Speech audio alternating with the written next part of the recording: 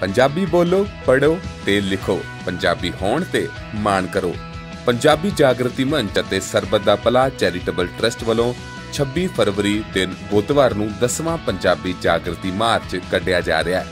ਜੀ, ਅੱਜ 25 ਫਰਵਰੀ ਆ ਤੇ ਸਾਡਾ ਤਿਆਰੀਆਂ ਦਾ ਦਿਨ ਹੈ ਜਿਹੜਾ 26 ਫਰ- ਫਰਵਰੀ ਦੇ ਪੰਜਾਬੀ ਜਾਗਰਤੀ ਮਾਰਚ ਦਾ। ਕੱਲ ਉਹ ਦਿਨ ਆ ਜਦੋਂ ਸ- ਜਲੰਧਰ ਦੇ ਨਹੀਂ ਬਲਕਿ ਦੁਨੀਆ ਭਰ ਦੇ ਪੰਜਾਬੀ ਜਲੰਧਰ ਸ਼ਹਿਰ ਦੇ ਵਿੱਚ ਇਕੱਠੇ ਹੋ ਕੇ ਇੱਕ ਆਪਸੀ ਸਾਂਝ ਦਾ, ਆਪਸੀ ਪਿਆਰ ਦਾ, ਇੱਕ ਮੁਕਤਾ ਦਾ ਪ੍ਰਗਟਾਵਾ ਕਰਦੇ ਆ ਪੰਜਾਬੀ ਜਾਗਰਤੀ ਮਾਰਚ ਦੇ ਰਾਹੀਂ। ਇਕੱਠੇ ਚੱਲਦੇ ਆ, ਪੰਜਾਬੀ ਦੀ ਖੈਰ ਸੁੱਖ ਮੰਗਦੇ ਆ ਔਰ ਨੌਜਵਾਨ ਪੀੜ੍ਹੀ ਜਿਹੜੇ ਸਾਡੇ ਛੋਟੇ ਬੱਚੇ ਨੇ, ਉਹਨਾਂ ਨੂੰ ਸੁਨੇਹਾ ਦਿੰਦੇ ਆ ਕਿ ਤੁਸੀਂ ਇਸ ਖਿੱਤੇ ਦੇ ਬੱਚੇ ਹੋ ਤੇ ਪੰਜਾਬੀ ਤੁਹਾਡੀ ਮਾਂ ਬੋਲੀ ਆ, ਤੁਹਾਡੇ ਪੰਜਾਬ ਦੀ ਭਾਸ਼ਾ ਆ, ਤੁਸੀਂ ਇਹਨੂੰ ਪੜ੍ਹੋ, ਲਿਖੋ, ਬੋਲੋ ਤੇ ਫੈਲਾਓ। ਦੁਨੀਆ ਦੀ ਕੋਈ ਵੀ ਭਾਸ਼ਾ ਬੱਚੇ ਸਿੱਖਣ, ਕੋਈ ਇਤਰਾਜ਼ ਨਹੀਂ। ਪਰ ਅਸੀਂ ਚਾਹੁੰਦੇ ਹਾਂ ਕਿ ਪੰਜਾਬ ਦਾ ਹਰ ਬੱਚਾ ਆਪਣੀ ਮਾਂ ਬੋਲੀ ਨੂੰ, ਆਪਣੀ ਪੰਜਾਬ ਦੀ ਭਾਸ਼ਾ ਨੂੰ ਸਿੱਖੇ, ਬੋਲੇ ਔਰ ਉਹਦੇ ਤੇ ਉਹ ਮਾਣ ਕਰੇ। ਉਹਦੇ ਅੰਦਰ ਕਿਸੇ ਵੀ ਤਰ੍ਹਾਂ ਦਾ ਜਿਹੜਾ ਇਨਫੀਰੀਟੀ ਕੰਪਲੈਕਸ ਆ ਜਾਂ ਕਿਸੇ ਵੀ ਤਰ੍ਹਾਂ ਦਾ ਉਹ ਇਹ ਨਾ ਸੋਚੇ ਕਿ ਮੈਂ ਫਲਾਣੀ ਜਗ੍ਹਾ ਤੇ ਆਇਆ ਤੇ ਮੈਂ ਇੱਥੇ ਪੰਜਾਬੀ ਨਹੀਂ ਬੋਲ ਸਕਦਾ ਜਾਂ ਪੰਜਾਬੀ ਨਹੀਂ ਬੋਲਣੀ ਚਾਹੀਦੀ, ਇਹ ਵੱਡੀ ਜਗ੍ਹਾ ਆ। ਉਹ ਕਿਤੇ ਵੀ ਜਾਵੇ, ਆਪਣਾ ਆਤਮ ਵਿਸ਼ਵਾਸ ਆਪਣੇ ਪੰਜਾਬ ਦਾ ਪਿਆਰ ਆਪਣੇ ਨਾਲ ਲੈ ਕੇ ਜਾਵੇ ਸੋ ਤਿਆਰੀਆਂ ਸਾਡੀਆਂ ਮੁਕੰਮਲ ਨੇ। ਜਿਹਦੇ ਲਈ ਅਸੀਂ ਦੱਸਦੇ ਹਾਂ ਕਿ ਟਰੂ ਸਕੂਪ ਦੇ ਦਰਸ਼ਕਾਂ ਨੂੰ ਕਿ ਸਵੇਰੇ 10:30 ਵਜੇ ਲਾਇਲਪੁਰ ਖਾਲਸਾ ਸਕੂਲ ਨਕੋਦਰ ਚੌਂਕ ਤੋਂ ਇਹ ਮਾਰਚ ਰਵਾਨਾ ਹੋਏਗਾ। ਇਹ ਨਕੋਦਰ ਚੌਕ, ਜੋਤੀ ਚੌਕ, ਕੰਪਨੀ ਬਾਗ, ਨਾਮਦੇਵ ਚੌਕ ਤੋਂ ਹੁੰਦਾ ਹੋਇਆ ਦੇਸ਼ ਭਗਤ ਯਾਦਗਾਰ ਹਾਲ 'ਚ ਪਹੁੰਚੇਗਾ, ਜਿੱਥੇ ਪੰਜਾਬ ਦੀਆਂ ਬਹੁਤ ਮਨਾਜ਼ ਹਸਤੀਆਂ ਜਿਨ੍ਹਾਂ ਦੀ ਪੰਜਾਬੀਅਤ ਪ੍ਰਤੀ ਬਹੁਤ ਵੱਡੀ ਤੇ ਵਡਮੁੱਲੀ ਸੇਵਾ ਆ, ਖਾਸ ਤੌਰ ਤੇ ਡਾਕਟਰ ਬਜਿੰਦਰ ਸਿੰਘ ਹਮਦਰਦ, ਜਿਹੜੇ ਚੀਫ ਐਡੀਟਰ ਨੇ ਅਜੀਤ ਗਰੁੱਪ ਆਫ ਪਬਲੀਕੇਸ਼ਨ ਦੇ।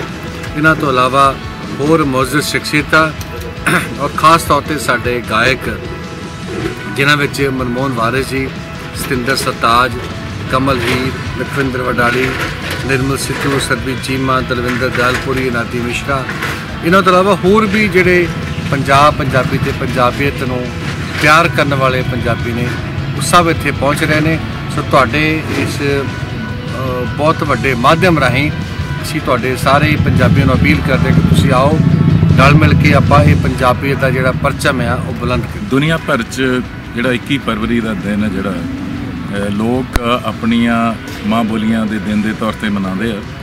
ਇਸ ਸਿਲਸਿਲੇ ਨੂੰ ਅਸੀਂ ਜਲੰਧਰ ਵਿੱਚ ਪੰਜਾਬ ਜਾਗਰਤੀ ਮੰਚ ਵੱਲੋਂ, ਸਰਬੱਤ ਦਾ ਭਲਾ ਟਰਸਟ ਵੱਲੋਂ ਤੇ ਹੋਰ ਜਿਹੜੇ ਜਲੰਧਰ ਦੇ ਵਿਦਿਅਕ ਅਦਾਰੇ ਆ, ਉਹਨਾਂ ਦੇ ਸਹਿਯੋਗ ਨਾਲ ਇਹ ਦਿਨ ਅਸੀਂ ਹਰ ਸਾਲ ਮਨਾਉਂਦੇ ਆ ਇਸ ਸਾਲ ਸਾਡਾ ਇਹ 10ਵਾਂ ਪੰਜਾਬੀ ਜਾਗਰਤੀ ਮਾਰਚ ਹੈ ਇਹਦਾ ਮਕਸਦ ਇਹੀ ਹੈ ਕਿ ਸਾਡੇ ਜਿਹੜੇ ਪੰਜਾਬ ਦੇ ਲੋਕ ਆ, ਖਾਸ ਕਰਕੇ ਨੌਜਵਾਨ ਆ ਉਹਨਾਂ ਦੇ ਵਿੱਚ ਆਪਣੀ ਬੋਲੀ ਪ੍ਰਤੀ, ਆਪਣੀ ਜ਼ੁਬਾਨ ਪ੍ਰਤੀ ਪਿਆਰ, ਸਤਿਕਾਰ ਤੇ ਮੋਹ ਪੈਦਾ ਕੀਤਾ ਜਾਵੇ। ਇਹ ਸਾਡੇ ਜਿਹੜੇ ਪੰਜਾਬ ਦੇ ਨੌਜਵਾਨ ਆ, ਉਹ ਆਪਣੀ ਜ਼ੁਬਾਨ ਤੋਂ ਥੋੜਾ ਦੂਰ ਜਾ ਰਹੇ ਆ। ਪਰ ਇਹ ਠੀਕ ਹੈ ਕਿ ਸਾਰਿਆਂ ਨੇ ਰੋਟੀ ਰੋਜ਼ੀ ਲਈ ਦੂਜੀਆਂ ਜ਼ਬਾਨਾਂ ਦੀ ਵੀ ਲੋੜ ਆ, ਉਹਦਾ ਅਸੀਂ ਕੋਈ ਵਿਰੋਧ ਨਹੀਂ ਕਰਦੇ। ਪਰ ਪੰਜਾਬ ਜਿਹੜਾ ਇਤਿਹਾਸਕ ਤੌਰ ਤੇ ਪੰਜਾਬੀ ਲੋਕਾਂ ਦੀ ਧਰਤੀ ਆ, ਪੰਜਾਬੀ ਬੋਲਣ ਵਾਲਿਆਂ ਦੀ ਧਰਤੀ ਆ, ਇਹਦਾ ਜਿਹੜਾ ਸਾਹਿਤ, ਇਹਦਾ ਸੱਭਿਆਚਾਰ, ਇਹਦਾ ਗੀਤ, ਸੰਗੀਤ, ਇਹਦੀ ਪੱਤਰਕਾਰੀ ਜਿਹੜੀ ਆ ਉਹਨੂੰ ਜ਼ਿੰਦਾ ਰੱਖਣ ਲਈ, ਉਹਦਾ ਵਿਕਾਸ ਕਰਨ ਲਈ ਤੇ ਅਗਲੀਆਂ ਅਗਲੀਆਂ ਪੀੜ੍ਹੀਆਂ ਤੱਕ ਇਹ ਚੀਜ਼ਾਂ ਜਿਹੜੀਆਂ ਪਹੁੰਚਾਉਣ ਲਈ ਆਪਣੀ ਜ਼ਬਾਨ ਜਿਹੜੀ ਆ ਪੰਜਾਬੀ ਆ, ਉਹਨੂੰ ਲਿਖਣਾ, ਪੜ੍ਹਨ ਲਿਖਣਾ, ਪੜ੍ਹਨਾ ਤੇ ਬੋਲਣਾ, ਉਹ ਬੇहद ਜ਼ਰੂਰੀ ਹੈ ਇਸ ਲਈ ਜਿਹੜਾ ਪੰਜਾਬ ਜਾਗਰਤੀ ਮੰਚ, ਸਰਬੱਤ ਵਾਲਾ ਭਲਾ ਟਰਸਟ ਤੇ ਪੰਜਾਬ ਦੀਆਂ ਹੋਰ ਬਹੁਤ ਸਾਰੀਆਂ ਜਥੇਬੰਦੀਆਂ ਆਪਣੇ ਯਤਨ ਕਰ ਰਹੀਆਂ। ਇਹ ਸਾਨੂੰ ਇਸ ਗੱਲ ਤੇ ਥੋੜੀ ਸੰਤੁਸ਼ਟੀ ਵੀ ਆ ਕਿ ਪੰਜਾਬ ਸਰਕਾਰ ਜਿਹੜੀ ਆ ਹੁਣ ਇਹਦੇ ਪ੍ਰਤੀ ਸੁਚੇਤ ਹੋ ਰਹੀ ਆ।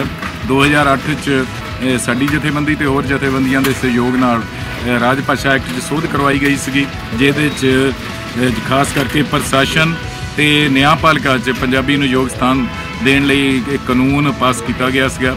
ਪ੍ਰਸ਼ਾਸਨ ਦੇ ਵਿੱਚ ਅਸੀਂ ਮਹਿਸੂਸ ਕਰਦੇ ਹਾਂ ਕਿ ਕੁਝ ਕੰਮ ਪੰਜਾਬੀ 'ਚ ਹੋਣਾ ਸ਼ੁਰੂ ਹੋਇਆ ਪਰ ਅਜੇ ਇਹਦੇ ਲਈ ਬਹੁਤ ਕੁਝ ਕਰਨ ਦੀ ਲੋੜ ਹੈ।